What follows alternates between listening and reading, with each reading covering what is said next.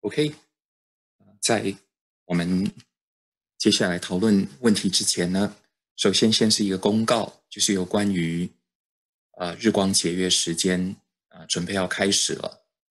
所以住在像是北美洲或者是其他有实施日光节约时间地区的朋友，请留意一下我们接下来呃每周末的这个呃共修的活动。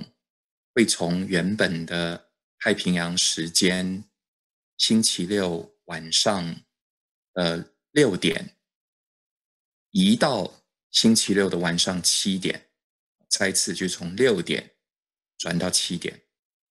那住在亚洲的朋友，或者是没有实施日光节约时间地区的朋友呢，你们是完全不受影响的，所以仍然是同样的时间。OK。好，接下来，啊，有两位朋友寄来问题。第一个问题，关于轮回，我有几个疑问。对于一般人来说，不知道自己有过去式和未来式，他可以说下辈子那个人与我无关，这辈子的善恶，下辈子由谁来承担？我不在乎，因为到时候已经没有我了。这种想法有什么问题吗？还有轮回的实体是什么？贯穿前世今生，一直传递下去的是什么？OK，关于第一个问题，如果有人这样子问你，说因为是下辈子，所以那个人跟我无关，所以我不用在乎哪一个人他是受恶或者是享乐，那么你可以跟这样的人讲说，那二十年后的你也是跟你无关的，就是你干嘛要为了退休？时期的你，要现在努力的工作存钱，要去养那个退休时候的你。反正那是未来的你，然后在你的认知里面，未来的你是跟你现在的无关的，那你就可以不要在乎了，你就过着那个好像没有明天的日子一样。基本上呢，会提出这样子问题的人呢，他骨子里差不多就是相信轮回的，所以他才会提出一个在逻辑上面。根本就很难建立的这样的一个说法。然后呢，第二个部分，啊，轮回的实体是什么？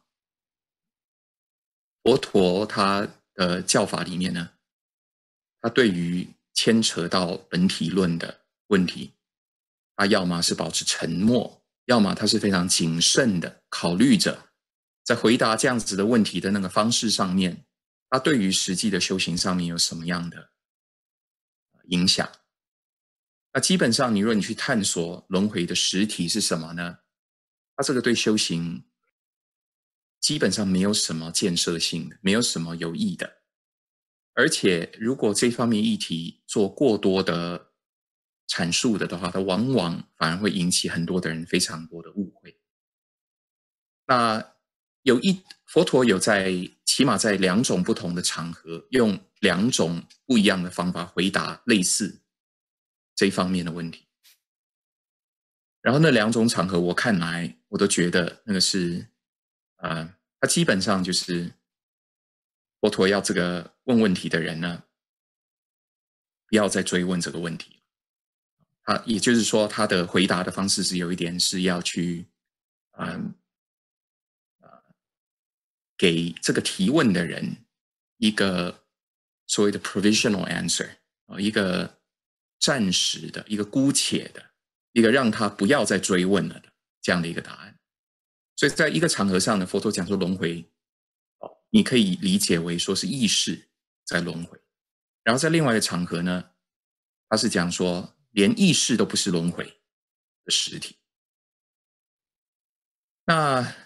为什么会有这两种不一样的说法？这个说来真的是话长了啊，这可以讲很多很多。那我们非常简单的来讲，就是一般会问这样子问题的人，或者是会为为这样的问题困惑的人，他就是因为内心还在受这个所谓的我见的制约。你内心若有我见了的话，你就会对于那个所谓的那个我会有很多的困惑。就看不清楚，说你内心中所认定的那个所谓的实体，那个实体不过是你的心，它盘踞，它所抓取，它所认同的某一种一种呃行动，某一种活动的方式。然后实际上呢，这个心跟这个现象跟活动，它到底终究有什么样的关联？它的那个关联可能是千丝万缕的。可是佛陀他只关注啊，他只专注于一个直接跟我们的离苦得乐有关联的那个部分，就是执着的问题，就是那个心它怎么样在抓取的这些活动状况。至于说这个心它跟这个活动状况之间是不是还有一个，譬如说造物者哦跟被造物者的关系，这个佛陀他是。不置可否，而且这个如果谈下去的话，这个两面它可以不断的辩证，然后还会衍生出非常多令人困惑的那个讨论。所以简单的来讲，就是你可以不用担心这方面的问题，只要你把佛法里面要解决的那个问题解决了的话，我可以给你保证，你的心不会再为这样的问题所困惑。OK，然后再来第二个呃朋友。出来的问题，请问佛陀的原始开示有提到功德回向这个概念吗？如何将自己修行的功德回向给往生的亲人，让往生者真正可以获得佛法的利益？啊，简单的来讲，在原始经典里面呢，你非常古老的、跟中期的、跟比较晚期的部分，他对这个议题有比较不一样的说法。就好比说，有一部分的《阿含经》，它有提到说，功德回向可以有十六分之一，也就是说，那个回向者他自己自己本身所做的功德里面十六分之一的部分，他可以回向给别人，有这样的这个说法。然后还有另外一种说法是不可算计分之一，不可算计分就是非常非常微小的一个部分，你能够回向给别人。然后十六分之一跟不可算计分之一的这两种说法，在一个意义上面它是同义的，就是说它是一样的意思的。因为十六在印度的那个象征啊，在印度古文明的那个啊标显的符号，就是它就是很大的一个数量的意思，所以十六分之一就是很大的数量的其中的一份。那。这样的回答法，当你讲说哦，功德里面十六分之一可以回向，这既是一个否定的说法，也是一个肯定的说法，是不是？哦，肯定的说法当然说是的，你可以回向的，你的功德转向给别人，对于别人是有帮助的，对不对？可是它也是一种否定的说法，那意思就是说，你就算能够回向别人给别人，那个回向给别人的部分是微乎其微的部分。所以佛陀在回答这个问题上面，他的态度是委婉的，然后他的态度是你可以从两面去解释他的。我们如果从正面的角度来解释他的话，那么就是我们个人的努力。你说我们自身在修行上面的进步，我们所得到的好处，它对于周遭的人，对于这个世间完全没有影响吗？那是说不过去的。这世间如果能够出现阿罗汉，不要讲阿罗汉，这世间就算是出现了出国，那对于很多很多的众生而言，都是极大的福报。如果一个人他有机会在他生命里面听闻得了一个圣贤四双八倍的圣贤，他的教育，甚至更进一步的亲近他，那个福报是很难计算的，那个好处是很难计算。所以功德回向这样的这个说法，应该是要尊重他。然后从否定的方面来理解它，就是你与其你要期待着你过世之后后代的人或自己的亲人给你自己回向，要依靠这样的这个手段来帮助你免除好比说三恶道的恐怖的话，这是一个多么的苍白的一种对策。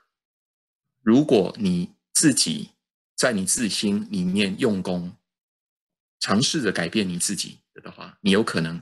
你得到的好处，不知道是别人帮你回向的好处多少倍，那是难以计算。所以最终而言，强调的还是自立，强调的还是自己要在内心上面用功，自己得以自为舟。OK，好，然后呃，其他的朋友有没有问题和心得？哎，你好，朱老师。你好。我想问一下个问题，就是，嗯，上一次呢，您讲的那个十吗？四十吗？最后的那那篇经文的那个事实呢，我不太明白。前三个故事呢，我也都，嗯，就说印象深刻。对对对对。进步很大，感觉自己那个很惊撼那样的，很震撼的感觉。嗯。最后这个事实呢，我就不太明白他的意思，嗯，麻烦老师给我讲解一下。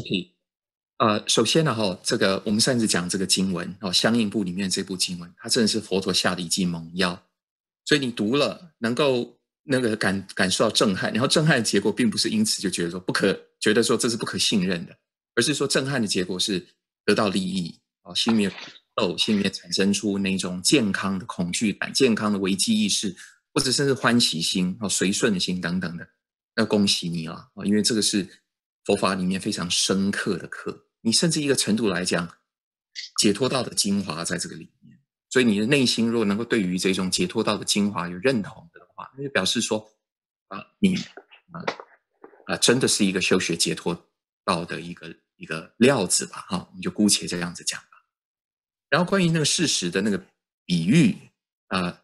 该部经典里面具体的比喻是，呃，讲说，呃，一个人他白天的时候还要忍受被呃三把枪刺穿身体的疼痛，中午的时候要被三把枪三百把枪刺穿身体的痛苦，晚上的时候同样的要忍受被三百把枪刺穿身体的疼痛。然后这个经典里面他所使用的四个比喻，它其实是非常贴切的。它对于那个我们所吃的那个食物哦，那个物质上面食物，所谓断食，所谓的粗团食，佛陀比喻是说，是度过沙漠的父母亲，他吃掉自己儿子，把自己儿子尸体作为肉干，与其三个人都死，不如牺牲一个，保存两个人。所以这是很贴切，就是世间的那个物质的食物是这个样子。然后关于触食的那个部分，佛陀比喻是说扒了皮的牛。然后很多的那个虫在咬噬着它，所以当那个牛它，譬如说它贴身到池塘里面，好，池塘里面很多的水生的寄生虫，很多水生的昆虫，很多水生的虫子就会咬它。它如果它贴身于那个牛粪做的墙，那么牛粪做的墙上面那些虫、那些细菌、那些维系的生物会噬咬它。它依靠着什么样的东西？该地区的什么样的东西就会咬噬着它。佛陀用这样这个方式来比喻触食啊，也就是说。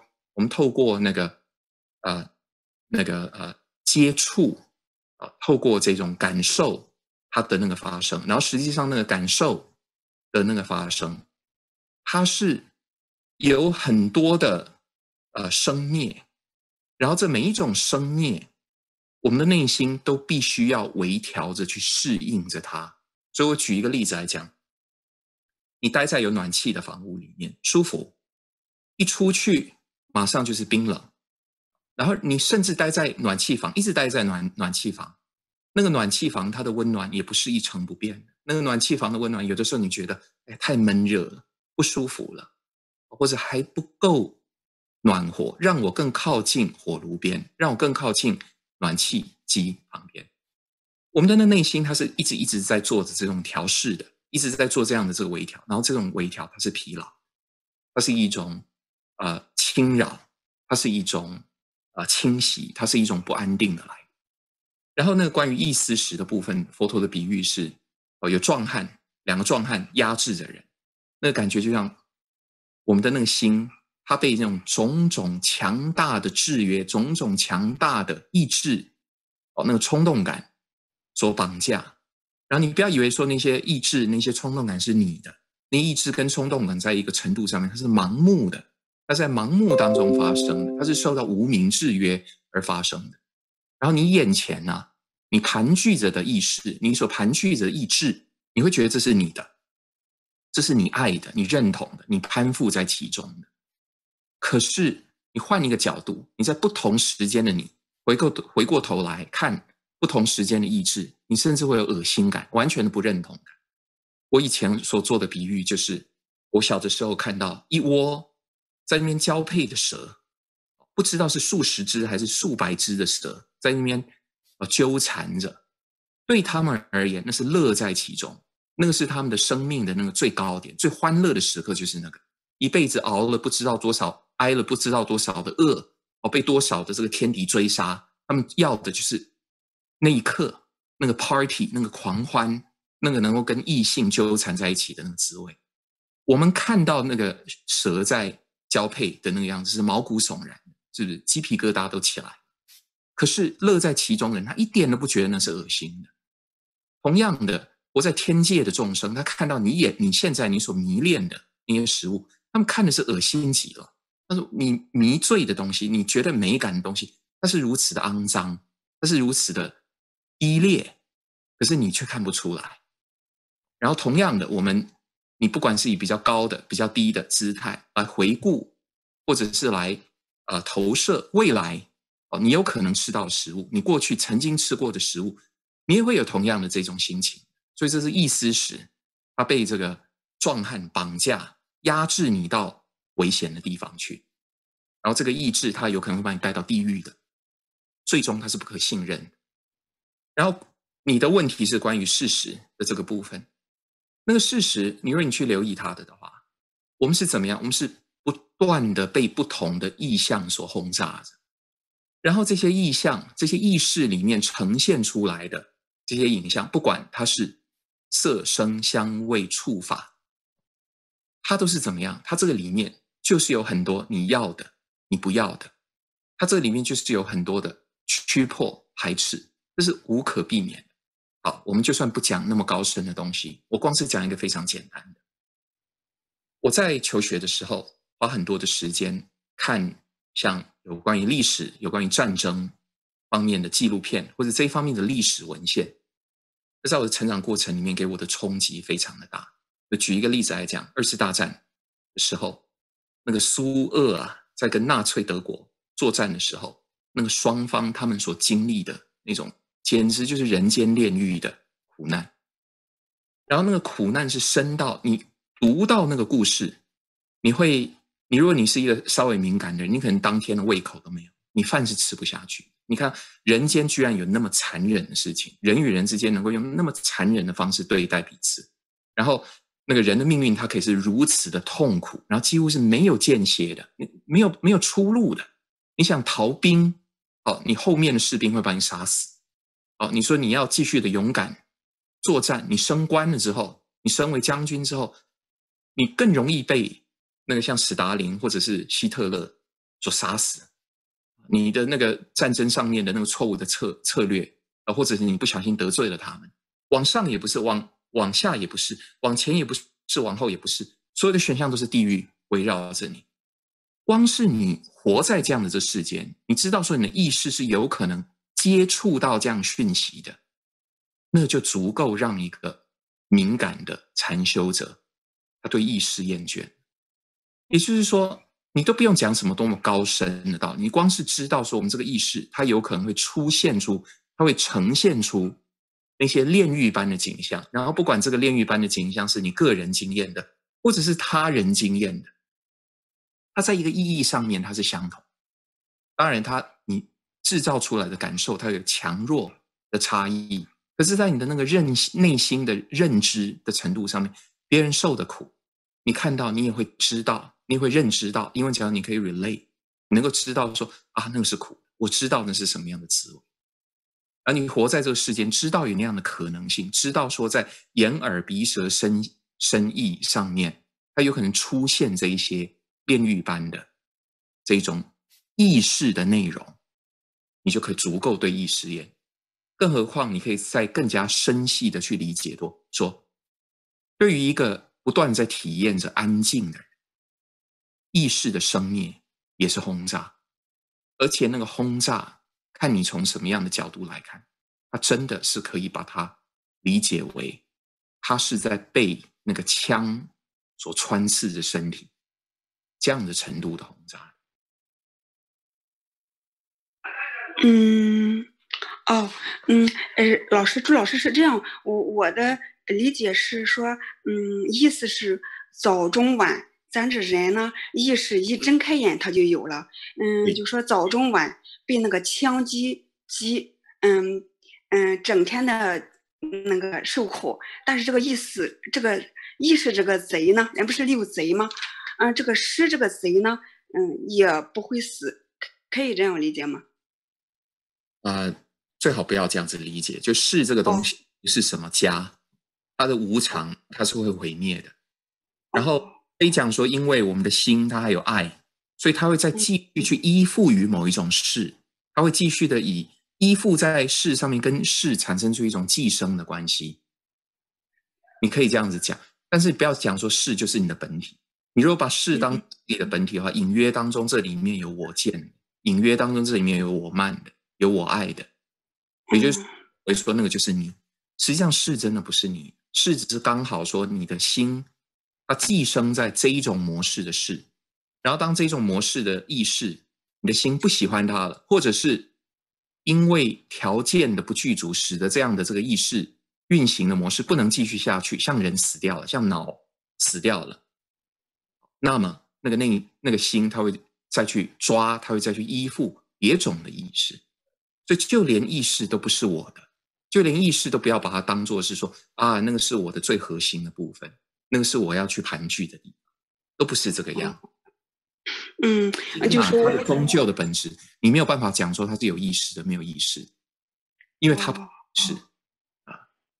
嗯嗯，就这这最后这个别的故事，你您这三三个十呢一一讲，我又嗯就是精细了很多，理解程度上，就这这个意识呢，嗯，就说嗯，他这个。嗯，他那么最后就说，你如果说被一枪击，嗯，就因此受苦了，就说没有被击中，三百枪也没有被击中，就这个就还是不太明白。就说当你这个翻译有问题，那个中文翻译有问题的，他的那个原文的意思是说，你光是被一支枪击中就有够痛苦了，更何况是三百枪。他意思是这样，不是你刚那个中文的意思，中文的翻译有问题的。哦，他他就说，嗯，即使被一枪，嗯，被击一枪，也因此感到苦受苦与忧与忧了，更不用说被击三百枪了。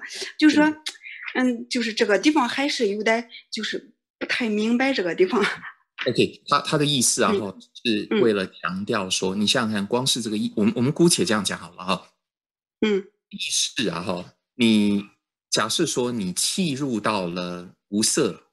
的境界和无色的定境界，然后在这个无色定的那个境界呢，你的意识能够觉察到的是单一的意象，这种单一，它不是多元，它不是像在其他的活动方式里面，你处理的是多元的意象。好，比如说我们在开车的时候，你要留意着加速器，你要留意着刹车板，你要留意着你肩膀有没有太紧，你要留意着跟前面车子的距离，这是很多元、很复杂的意象。可是人在无色界的时候，他的意象是单一的。好比如说，单一品，那无边无际的虚空，或者无边无无尽的意识，哦，无边无尽的空性等等的，哦，这种单一的意象，你在单一的意象，你都可以感觉得到骚扰，你都可以感觉到生灭的轰炸，更何况是你不待在无色的境界，你是待在欲界的境界里面，你是有三百个。不同的生命在轰炸你，在任何的时刻里，他要比他要强调的，只是说那种三百支枪轰炸你，那是多么的密集，多么的难受。他只是这样，那个数字本身并不一定有什么多大的意义，所以不必要在乎说一跟三百这个数字。哦，我我这样就能呃更更进一步，比刚才要要理解的呃好一些了，嗯。感恩老师，我呢，你你讲的这些，我要反复的去听，嗯，反复的去去琢磨，嗯，就说这个你上一次讲这个断食这个课呢，非常的感恩你，因为让我自己吧，就在修行方面，嗯，上了一个台阶，嗯，很大的台阶，而且是从各个方面去，因为也也有也有书，但是不会这么去重视这这一课，哦，这是这是这么好的，这么高深，就是。非常的非常的棒，非常的震撼，感觉也很惊喜，是这样的。就这个诗呢，我会再反复的去琢磨，再去再去听你。你谢谢你的分享，跟你的嗯嗯，还有一个问题，朱老师，就说嗯，就是故去的人呢，我我妹妹妹夫去年的不到一百天的时间都离世，这样呢，我想给他嗯做点功德，那的话以后，我想上一次有个先友问了，说您嗯就类似于这样的啥的话，有一个经文。类似于嗯，或者是一个读本，能回向给他们。除去此经之外的，嗯，您您等待您，嗯，就是出一个这样的。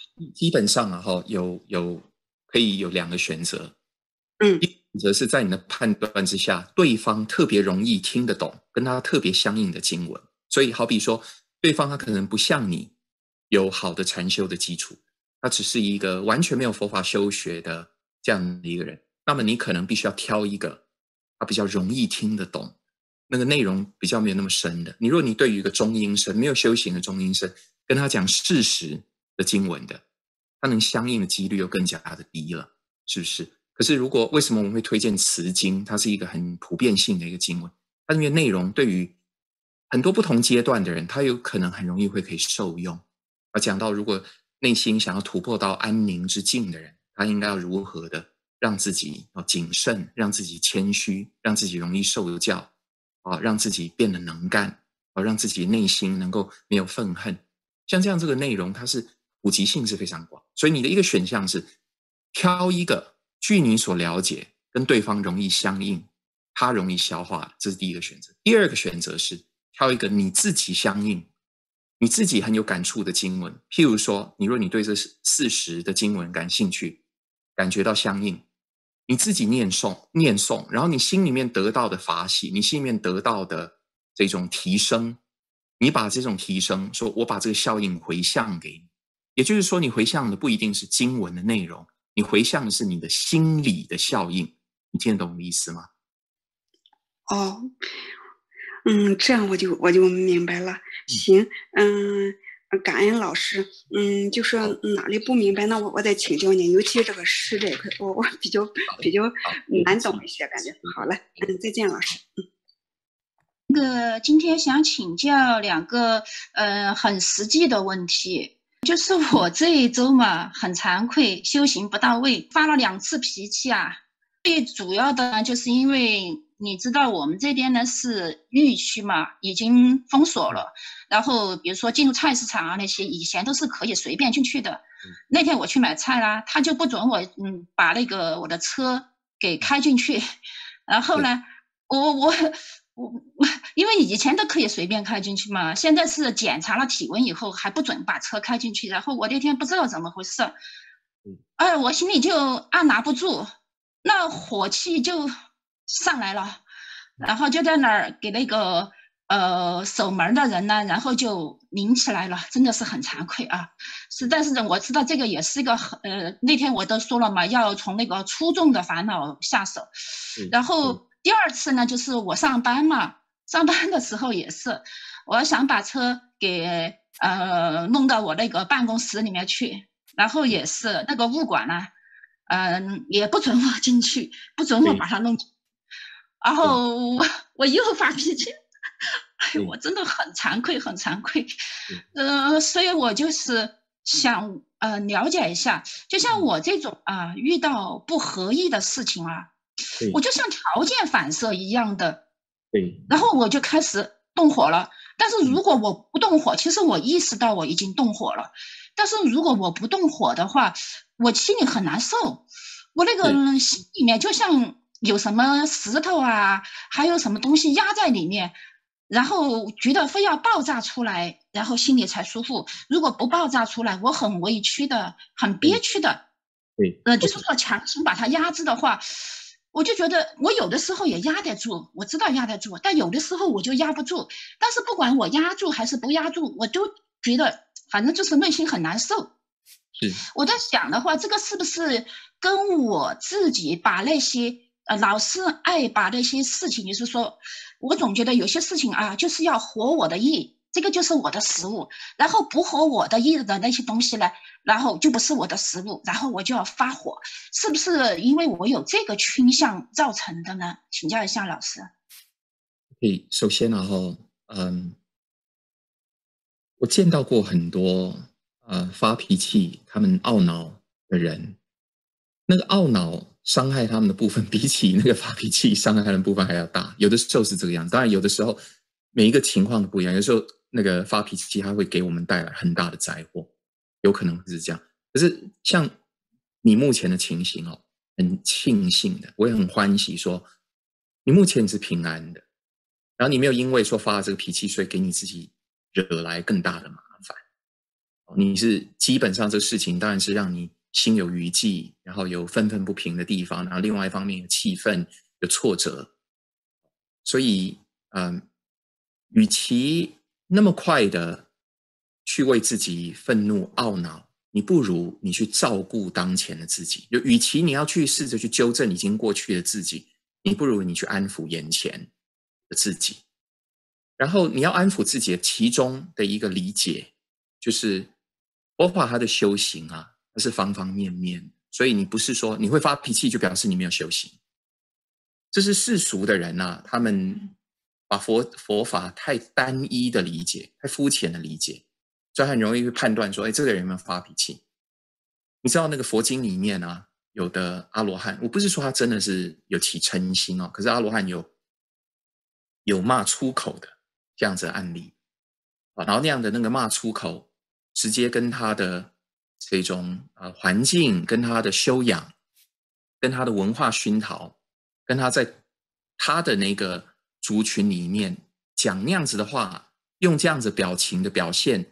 是不是能够被其他人所接受的？这些因缘所决定。所以，嗯，你与其你判定你自己的方法是我有没有发脾气，你不如判定说：哎，我虽然已经发了脾气了，可是我事后我缓解我自己、和缓的那个方式有没有比较善巧？就说眼前你能不能够更快速的时间，让你走出。那个挫折的感觉，走出那个懊恼的感觉，知道说我们修行里面，它是必须要有对自己谅解，然后也要有激励自己这两个部分，这两者它要经常互用。你一方面你要知道如何让你自己不要安于你现在所处的境界，让自己不断的进步，精益求精；另外一方面，你要对你自己是宽容，是理解。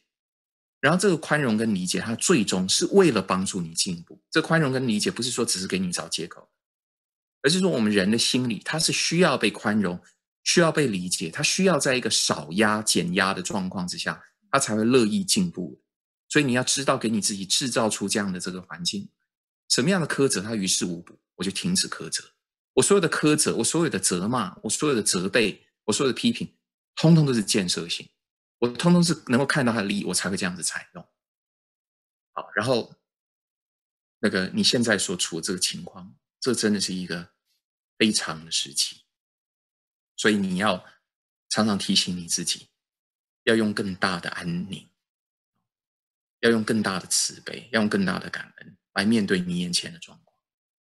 记得，你眼前你是安全，你能够光是有这一点。那已经是胜过无数的人你能够有安全，你只要你还能够修行，你就已经胜过无数的人。对于眼前所有的这个东西，不要觉得习以为常，不要觉得说自己的健康、自己的平安是一个理所应当的事情。这个世间呢，健康跟平安呢是奇迹，它是不正常的事情。生病啊、不平衡啊、混乱啊什么，那才是正常事情。所以，对于自己眼前是能够平安的生活，他是起码在修行这个程度上，你能够安稳，继续的帮助自己进步，这个就是福报。不要忘了这个，这个东西是老生常谈，可是它真的是值得你一直一直念住于其中，把你的那个正念是安安住在这个地方，然后提醒你自己说：我所有的我 OK，我我我现在给你的意见是，你你不要觉得说发脾气还永远都是不好。我们人世间有很多种的那种对应，你人是可以在没有嗔心的状况之下，表达你的愤怒，表达你的立场，表达你的坚决，这完全是有可能。然后，嗯，但是你眼前所处的境地，你发脾气会让你很危险。你要知道，说现在你们你你所处的这个环境，如果你透过这样的这个方式，制造出了你个人跟你环境的混乱或者动荡不安，你很容易被人家挑出来，你很容易被人家 single 掉。所以提醒你自己，你是为了保护你自己，所以要更加的留心控制你这一方面的情绪啊，让你自己。平常用更深刻的、更处心积虑建立起起来的宁静的感觉包围着你自己。出门的时候穿上这样的一个甲胄，穿穿上这样子的一个保护网。那你出门你不只是戴口罩而已，你不只是穿这些哦保护自己的那些服装而已，你还要穿上那个心灵的哦在修行上面的那个保护甲。你进到一个混乱的一个状况。你必须要比周遭的混乱状况更加的安定，所以你才容易让你的鉴赏力、让你的判断力一直是正确的，一直是可靠的。你不要小看这东西。我已经我自自身还有看到我周围的人，他们临危不乱，他就是那个遇到那个大的灾难，那一瞬间，别人家多了百分之十的平静，那就救了他的命。他那一瞬间，别人家多了百分之十的宁静。使得他所做出来的接下来的那个判断，是不只是避开了那个灾难，而且是完全的把当时的危险变成一个转机，变成是接下来的福报。你如果你要有具备这样能力，也就是说那种履险为夷，不断的逢凶化吉啊，你人生要一直好像说是走晚运，就是你越来越好，越来越好。你要做的就是说，你必须要让你的日常生活当中。一直去坚持跟善相处，坚持是做出正确的选择。我的善不是说一般世俗人道德的那个善，不是叫你说啊，都通通都都是服服从的，通通是不要发脾气。我不是这样的意思。可是我的意思说，一直是用智慧判断，一直都是选择那个良善的，没有缺，尽量少缺陷的那样的抉择。那就是说，我需要培养自己判断。什么样的决定是比较符合当下的情况的这种能力？你你你的情形哦，天堂，你要你要留意一下，你平常的时候有没有经常的是以平静、以宁静为食？能不能不能够去培养起对于这一方面东西的审美能力？也就是说，你越来越懂得享受宁静，越来越懂得享受那种。人他在和缓下来，它在缓冲下来，它里面的滋味，然后那个滋味，它是值得你不断不断的探索，它是可以越进去，你会发现到说，它的那个滋味，它几乎是源源不尽。那个刚才老师你也提到了，就是阿罗汉他也有发脾气的时候，那他的这种发脾气的这种时候。但是你又说他又是没有动火的，这种情况又是怎么回事呢？一般的人他对于嗔心的理解是有一点不正确啊。大部分人对嗔，因为中文这个嗔这个字是什么？就是发脾气嘛，叫嗔嘛。这个人动了嗔念了，起了嗔心了，发了嗔火，是不是？可是你如果就是看印度文明里面，他对那个嗔的那个理解，多萨那个多萨那个字。那个字，它指的是你的那个内心产生出对于那个境界没有益处的抵抗打击，然后像这样这种方式，它并不一定是以那个发脾气的模式产生出来的。严格的来讲，某一种恐惧，它也是成型；某一种那个啊厌恶，它是一种嗔心；哦，某一种贪，譬如说你。你的那个贪的产生，它一般是他要什么不要什么，所以贪跟嗔，它几乎就是同一件事情的两面。你一个人贪，他一定会有嗔；他有嗔，他一定有贪。他嗔的就他得不到的那个东西，他想要呢，他得不到挫折，所以他有是不是？然后那个贪，他的那个反面为什么说他是嗔？就是那个你之所以我我我们讲一个人他贪财，为什么？因为他。很厌恶那个没有没有财、没有发财的那个状态。他对那个状况可能甚至是恐惧的。一个人他很好色，因为他对于那种没有被呃其他的人类留意，哦，用温存的方式对待他，哦，那个那个状况他是很厌恶的。所以贪贪跟嗔，你必须要把它理解为是啊一个事物的两面。所以一个人他有没有可能说啊他他内心是解脱没有执着，可是他外在的流露在某一些场合之下他会骂人，我认为那是完全有可能。假设我们姑姑且做一个这样的比喻，假设你同意说像阿姜马哈布啊这样的人他是阿罗汉，他自自称的了哈，那我我这边也不评估说。呃，他这样的这个称谓，他这样的一个自我表白是呃可信的不可信的，就姑且不谈这个，就姑且讲好，他是一个阿罗汉。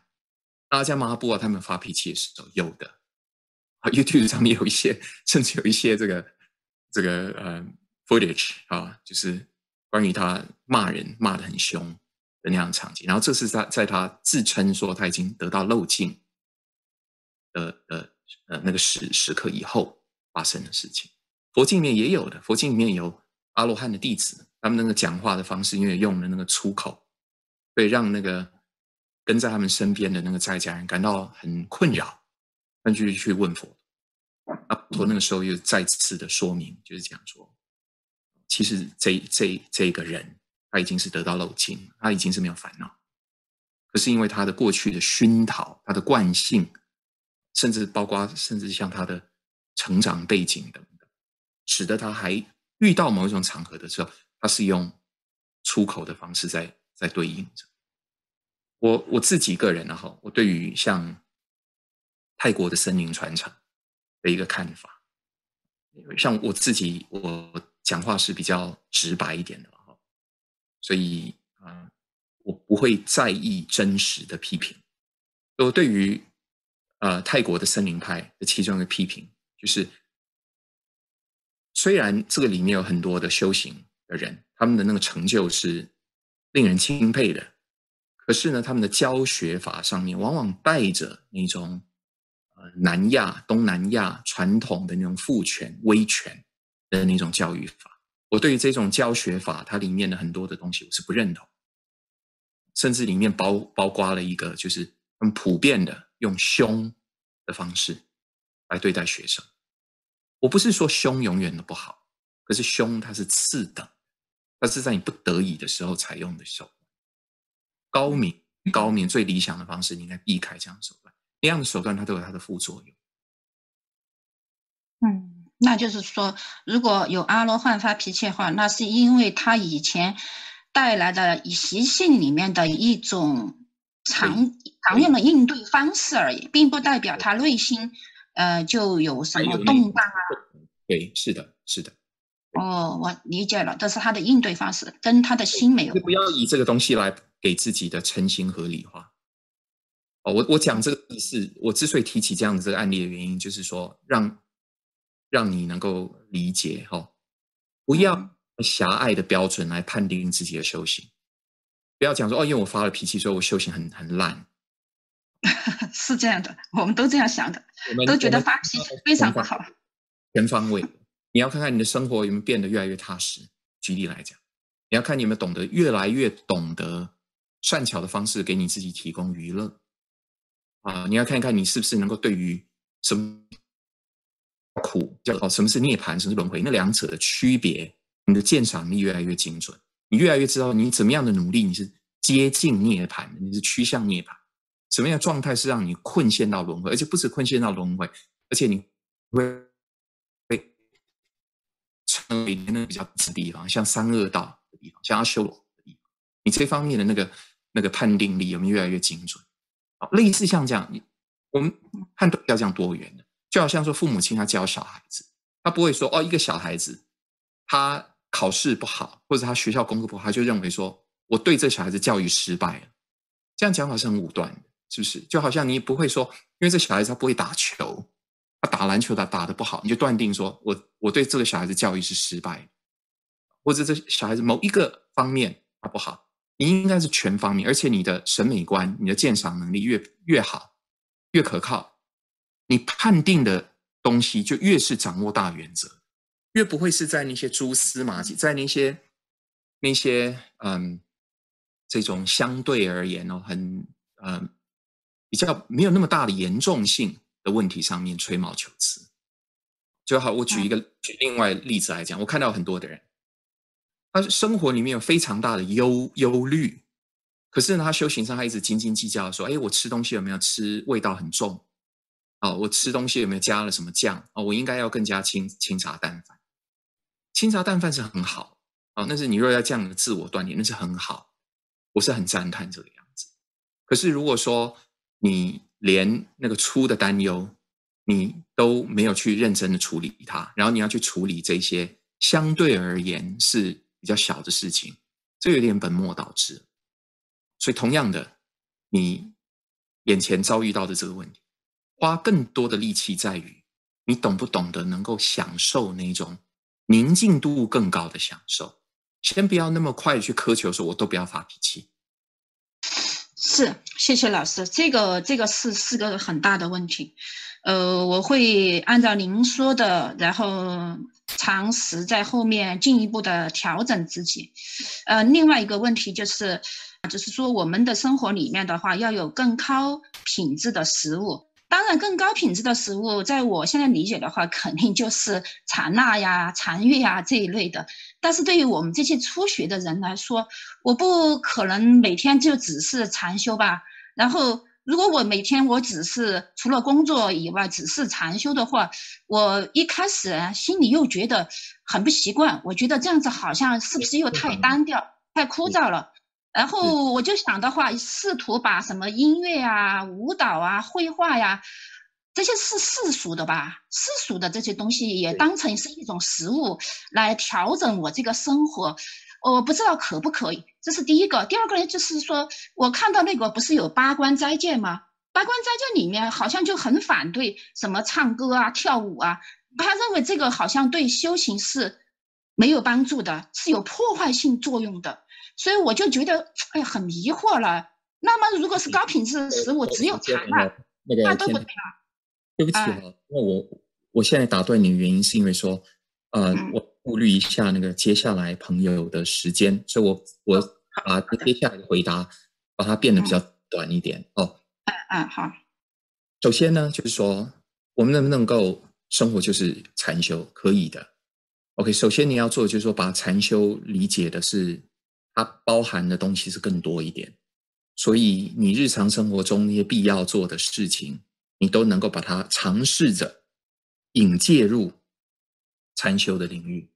所以，啊，呃，工作里面有带着一些禅修的氛围，或者隐约带着啊某一种禅修的技巧，所以是可以的。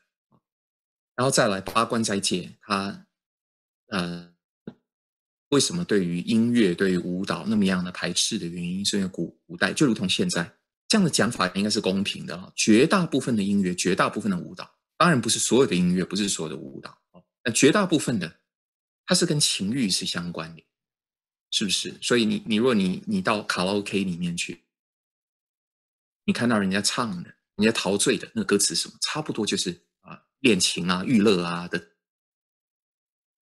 赞扬啊，对娱乐的感伤啊、惆怅啊这方面这东西，就接触这方面这种娱乐，它是它真它真的是杀伤性蛮大，它的那个那个诉求，以呃佛法的标准来讲，它是低劣的。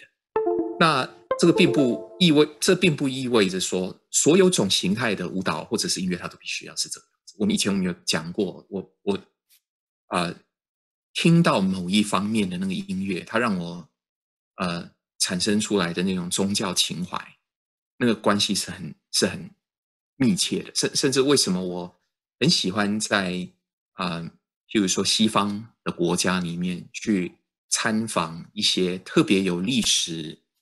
呃呃，一些教堂和一些宗教的场合，去感受那个地方它的呃，包括像音乐这方面的那个表达，也是因为这样的这个原因。然后这个日常生活里面，我们我们以前我们有提提到过这方面的问题，你要一直去抉择。你你一开始的时候，先不要好像说画一个很生硬的一个界限，说哪一些东西它绝对是怎么样子。而是你在受用的那个过程里面，你一直去做抉择。所以这个包含了什么？这包含了比较宽阔的去理解什么叫做灵也想啊。这个灵也想，它就是啊，知道什么样的身心的感受，它是容易是隽永，它是容易帮助你达到饱足知足的，它是容易脱离开复杂的动作的，它是容易能够帮助你。认同随顺、减少执着的这样的一个状态，这个东西最理想的状况是你在一个好的道场、好的僧团里面，有人带着你，你可以观察。你如果你只是听这样子的解说，可能心里面会产生很多的障碍，或者有很多的不理解的地方。那如果没有那个机缘，在一个僧团里面做这方面的观摩的的话，那也只好尽量的。我自己去理解啦，然后继续的在做这样子的互动，继续的这样子的问答来做微调。嗯，好的，谢谢老师。好，那那个因为时间的关系，所以我们先让其他的人有机会问问题了。好，我们下回我们再继续讨论，好吗？老师好，你好。最近我跟人在相处时，就是能感受到自己有更多这种放松啊、真实，然后也体会到这种人与人之间这种相处乐趣。然后我就看到说，这个心他非常喜欢、乐意钻到这个五蕴里面去找食物。那我现在该从什么角度，从这个所谓的乐里面去理解苦呢？诶就是循序渐次，也就是说，呃，我们要帮助自己。了解苦，要了解到什么程度呢？了解到你眼前的身心状况，他能够接受的程度。你不是勉强你自己的哦，就是说，如果很生细的部分，那种所有的五蕴，它通通都是不值得抓取。如果你的心还没有准备好接受这个，你要强迫他接受这个，你顶多只是在帮助你自己种种子而已，只是它不会有什么很具体的成效的。所以我们在日常生活中，你可以透过动作的微调，透过你的审美观、你的鉴赏能力，它的精致化，来使得你越来越趋向涅槃。那具体而言，这该怎么做呢？像你刚刚提起，哎，你在能够跟朋友啊相处，懂得用真诚对待人家哦，等等的。好，你一方面呢，你不需要放弃掉。这方面的享受，那种在真诚当中建立起来的同修犯行的快乐，这个快乐它是真切的，你可以从这里面得到好的滋滋养。同时呢，你可以再去开发起可能是下一个阶段比较高深一点的，让这两者同时并行。什么是下一个阶段？什么是比较高深的呢？举一个例子来讲，独处的快乐，你没有跟朋友在一起的时候，也就是说，你有没有因为？没跟朋友在一起了，没有跟那些好的高品质的朋友在一起的时候，忽然之间就陷入了失落，陷入了无聊感，还是说你可以发现到说，跟同修犯行在一起有跟同修犯行的快乐，独处有独处的快乐，这是先第一步。再一步你会发现了，哎，独处的快乐，它比起同修犯行的快乐更省力，更隽永，我更加不需要去考虑到。其他因素像什么？别人感觉怎么样啊？哦，我讲话有没有讲的对啊？哦，你可以在很简单、更加率真、更加省力、更加少依赖型的状况之下，得到更呃稳健的饱足感。所有的那个佛教它的那个爬楼梯都是这样，你不需要说要把前面的那一个良善的乐完全的剔除掉了，你才可以享用下一个，而是说。你一只脚还踩在底下的那个阶梯上，你上面那只手开始要去抓另外一个比较高的阶梯，这样子了解吗？享受独处的乐，意思并不是说要你立刻把你自己关起来，不不必要这样子理理解的，不必要把那个独处想的那么样的绝对。哦，我是要开始修学独处，所以我从今之后我不再跟人家相处，不是这样子的选择。一般。比较好的选择方式是怎么样？是说，好，我要开始学习独处的快乐，所以我接下来我不要一天到晚老是跟人群腻在一起，我要知道有的时候要能够抽身而出，然后越来越多时间懂得能够在不依赖人群、不依赖朋友的状况之下，还是感到很安适、很安乐、很饱足、很幸福，类似像这样子。所以把佛陀他所教的那个远离、那个独处，理解为他可以跟同修梵行的修行并行的这样的一个东西。然后只是你的那个内心对这两者的那个依赖，它的比例会一直做调整，越来越倾向于往那个更好的地方。嗯，太好了，那我明白了。然后，然后第二个那个问题是，刚才我听到老师你说，你说那个意思是，嗯，他就是讲想法冲动不是我不不可相信。但是我现在只能看到，就是自己的想法冲动，就是它很多在不停的变化。但是我现在并不能做到，就是去不相信它，就是做不到马上就不相信它。那我该怎么就是去练习呢？呃，先不用急，然后从不同的角度慢慢的引导自己。像什么样的角度能够帮助你自己呢？举一个例子来讲，我想呃，假设说你小的时候啊，读三年级的时候，曾经看到隔壁。那个长得斯斯文文的男孩子心里面怦然心动，然后那个时候的你会觉得哇，我若能够接近他多好。我不是说真的这样子，我们就做这个很粗很粗俗的这个比喻。然后呃，可是现在的你，你再回过头来看，你小的时候会喜欢的那种形象哦，那那种人，现在看起来你可能会发笑，你可能会发窘，你甚至想起来就觉得不好意思，为什么我当时品味那么糟糕？啊，所以这一个角度，就是去看那个你的行它的无常性，你的动机它的无常性，去看它一直在变动着，去看说，甚至以前这个呃男女哦在约会的时候，那个是天长地久有时尽，啊此恨绵绵无绝期，是如此笃定的发这样的誓言。可是现在是光是讲老公我爱你，你讲你都觉得恶心。鸡皮疙瘩都要觉得起来，甚至对方都感觉到恶心。为什么那个动机会有这样子的这个差异呢？哦，就从这一方面的这种观察，去松动那个你对你的那个意志的那个盘踞啊，去知道说这个意志呢，首先它无常，然后再来另外一个角度。你看到它的来源，只要你没有解脱，你的意志的发动，它无可避免的都受到贪染，都受到无名的熏熏染。这样的东西，你怎么可能百分之百的相信它？啊，你可以用多重的角度，用不同种的这种过患的这个角度来了解它，甚至你不用复杂的，你光是你一直观察着那个。你的动机，它的起起落落，或者你的动机，它需要用力，一直留意的这一点，经常留意的这一这一点，很深刻的去体会这一点，你也会慢慢的加深那个对意志它的远离，它的那种不认同，对它的不信任。可是，就是我我我觉得，就是好像现在就是我比较迫切的这种觉得疑惑点在于，比如说一天，呃，出现很多个想法跟冲动，那那我怎么去分辨里头哪些是我就是说不得不去做，然后其他都可以放下的，还是说其实所有的一切都可以不去做？就是我不知道该怎么去这个。在我们不是阿罗汉之前，就是以法为师，以法以法的框架，他所。产生出来的意念，这个东西你要学习，先去依靠它，先去相信它。到了阿罗汉的地步的时候，连这个都放下。可是，在没有到阿罗汉之前，就是先以法作为框架。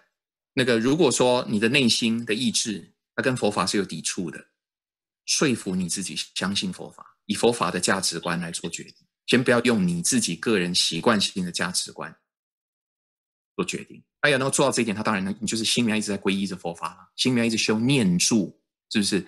是念住那个法念住是什么意思？法念住就是一直以佛法的框架，一直以佛法的价值观，然后再做抉择。简单的来讲，法念住的内容就是这个样子。这个价值观是是戒律，或者说是全方位还是全方位的？四圣谛、八正道，哦，五根五力，所有的道品，它都是的。然后你对于佛法了解的越是越越呃深入，你掌握的越好，那文思的基础越好，你越容易有一个清楚的框架，越容易有一个巩固的框架，强健的框架。他在平常你内心真的出现抵触的时候，你更容易是被佛法所说服。哦，那就是观察这个，比如说做完一个呃选择之后的效应，是不是也需要去这样做？就是去回头看一看这个事情做的对不对？因为你要看那个效应，这也是佛法的框架。佛法教你的就是说，你平常你要懂得留意你的动作，留意你的动作它的效应。这包括了，对不对？我们平常的时候，你有没有记得要放松你自己？哦，放下那些没有必要的焦虑，放下那些多余的紧张感。这个通通都是佛法的框架，然后去看啊，这个放松下来，这是比较好。我刚刚那种紧张是没有用的，要加深你这种了解。哦，原来我生活里面那么多紧张是没有用。这个就是在依着佛法框架在生活的一个例子。嗯，好的，那我听懂了，那我回去好好练习的。谢谢老师。OK，老师。是这样的，就上上堂课我不是问了一个问题，是 six sense base basis，然后你说不排有两种观点，一个是 internal 是指个人，external 是指他人，这样理解非我修非我。那还有不，你说不派还有另外一种观点，就是呃 internal 是指六根内六根，然后 external 是指外六境。那是不是可以这样理解呢？就是说在我的内六处。然后呢，遇见这个境界的时候，然后处产生呢，处产生了，然后就会对境界产生爱或者是非爱。那就是说，在感情上，你的心会寄托，呃，就是牵挂于这个境界，牵挂于外境。那就是说，那就产生了有我的那种心理的架构。这样修习非我，是不是这样理解？对，是的。对。啊，那可不可以理解，就是这个外六尘，就是外六境啊？呃，是我所呢？呃，因为不同的人，他的内心在不同的时刻有不同的活动状况，所以之前可能是我，可能下变成我所，这一刻是我所，下一刻它变成我。哦，我或者我所都有可能是吧？对，所以我举一个例例子而言，哦，嗯，刚才讲那个二次大战的那个那个例子，而有一个案例，哦，那个苏苏俄的士兵。他在某一个场合，他有机会，他想逃，他想要做一个 deserter，就是说他想，他不想在战场上，你那个战场太恐怖了。然后在那一刻呢，他的国家还有他的同伴，就只是我所而已。对他，他为了保保存他的自我，他可以牺牲掉我所的。对我所，他比起我是更远的，是更不亲爱的。就是，可是在下一刻，他看到旁边的那个红袍战友死掉了。他激励了他的勇气，然后他忽然间他忘我的，发奋的往那个前线冲。这个时候他的怎么样呢？他的自己身心的安危变成了我所而已，然后他的同袍，他的国家变成是他的我。所以这我跟我所，他不是那么样的绝对的。你的心他一直在啊改变他的疆野，在改变他盘踞的地方。所以之前就我们之前我们做的一个比喻，哦，一个一个人他的脚烂了，然后医生跟他讲你要截肢，你不截肢你会翘辫子，好，那个脚只是我所而已，对不对？我要保命，当然啦，截肢，是不是？所以脚在这个地方很明显它是我所，然后你脚的身体的其他部分、其他的身心现象，它是我，可是有可能另外一个人。他遇到同样的状况，那这个人他平常他对于他的长腿，对于他纤细的腿是特别的得意骄傲，可能是一个职业的模特儿，他的绝大部分的那个自我的寄托的地方，就是在他这个形体的美感上面，所以他跟那个医生回的话是说：“你若要截断我的腿，你不如先杀了我。”我以前我在读高中的时候，曾经遇到过。有一个这样子的一个女性的朋友，她就跟我讲说，他决定好，他他跟几个朋友相约，三十岁的那一年，大家要一起自杀。啊，因为他们认为说没有办法接受那个老了变不漂亮了，没有办法再吸引男生的那个自我，他们讲出这么样严重的话，所以在他们的观念里面，他们的那个肉身，他们的那个色身，那个色蕴，不是只是我所，那就是我。然后在他们的观念里面，那个色身死掉就什么都没有，其他没有任何东西有意义的，其他没有任何的活动他会再去认同啊。所以在那个程度上面来讲，那个色蕴就是他的我，就不是只是我所。可是相对于这个，有一些宗教家，他们可能会觉得说，我不要执着我的肉身，我甚至要赶快放下这个臭皮囊，所以让我的灵魂能够得到解脱。这样子的人呢，他有可能他看待他的肉身就只是我所而已，只是他把他灵魂看作是我。那不管你是把哪一个东西看成是我或者我所，你只要有我我所，就有执着有痛苦，对不对？然后你差不多你有我，你就会有我所，因为那自我的那个经验、自我的感觉就是怎么样？它是一个控制发生的中心点，它是一个盘踞的中心点。然后这个盘踞物之外。有一些是可以为你所用的，被你所享用的，符合你的意愿、符合你意志、帮助你狩猎的那些活动，那些东西被认为是我所。嗯，好，我明白了这个。还有还有最后一个问题，就是我在学那个相应部，呃，还是讲六处相应的时候。二百四十三经里面讲到，目犍连给诸位比丘说法的时候，他说：“当眼看见色的时候，具足具足正念的比丘，他不会欢喜这个可爱的色；然后去看见不可不可也不会排斥不可爱的色。它是 with 这个 maleness mind 怎么理解呢？你的那个发音可能不好意思哈，要嗯调整一下，我没有听懂你念的那个字，什么叫 maleness？maleness。就是没有没有衡量的心啊，measureless 是不是？Yeah，measureless，measureless 是嗯，没没呃那个 measureless 的意思就是说它是不被任何的境界所困顿，所以它是没有界限的。那个 measureless 这个字呢，它在巴利文的使用，有的时候它是跟无所有是同义词，有的时候它不是同义词。呃，譬如说什么是同义词呢？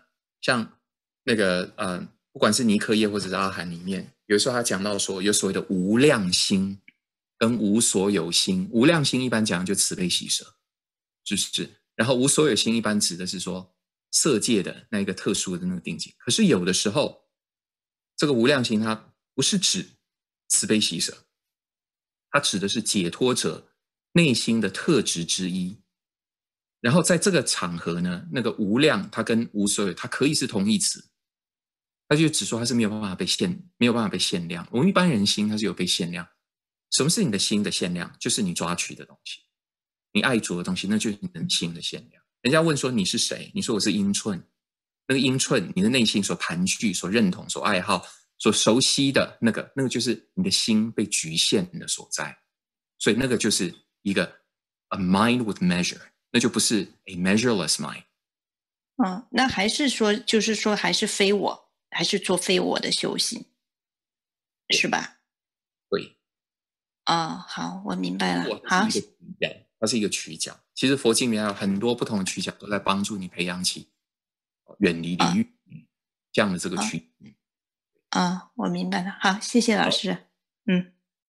哎，老师你好。你好。呃，我我那个就是想问一下，就是上周那个有同学不是说起来了那个呃护卫豆嘛？然后我今天想问一下，就是我之前在南传的时候也学过那个护卫护卫经，叫护卫经吧？那个护卫经是不是是不是就说我们现在到到野外去禅修诵诵那个经，也也也会得到保护呢？我问一下，因为我也不知道这个内容是比较晚传出来的。哦，对，那个早你如果是讲早中指导经，它是真的是没有那个咒语或者是护卫，有有的人他要刻意的要去分别说咒语跟护卫。咒有什么差异？实际上不太有什么差异了。再是，当就是引用着这种阴身的神秘力量来达到这种保卫，然后达到这一种能够操控超自然，然后能够左右神明，哦，来来消业，来增加自己福报的这种观念。这严格来讲，佛陀他对于呃当时的这些宗教的这种这种呃习惯，他是不认同的。严格的来讲，这都是属于接进去的观所以我也觉得他有点像是像是迷信的那种样的。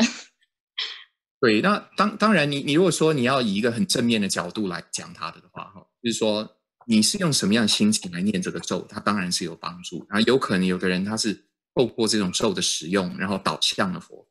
但是我自己个人是认为说，呃，走那样的路，它都容易是很曲那个崎岖弯形，然后甚至最后就永久的被误导。绝大部分人是这个样子，绝大部分的佛教徒，他一辈子的学佛法，他是走不出那个呃借进去的那个框框里。然后佛陀他也从来没有讲说，哎，我先先以欲勾牵，后令入佛智。我先给你一个方便，我先给你一个就是有问题的方便，然后引导。佛陀教法不是这个样子。早中之早的啊，或者比较淳朴的那个经典里面，佛陀的教法就是一开始就是善法，一开头它是甜的，中间是甜的，后面是甜。它绝对不会像是后来的佛经那个像《妙法莲华经》这样子。哦，到了中间，忽然之间跟你讲说啊，我之前跟你讲的是善意话，那是方便，然后现在才要跟你讲真话，他不会是这个样子。啊，其实我们如果是真的要出去外面禅修的话，也就就必须去找一个相相对是非常安全的地方，差不多，否则的话还是还是小心为好。嗯，很很不容易。好，对这个现在的这个。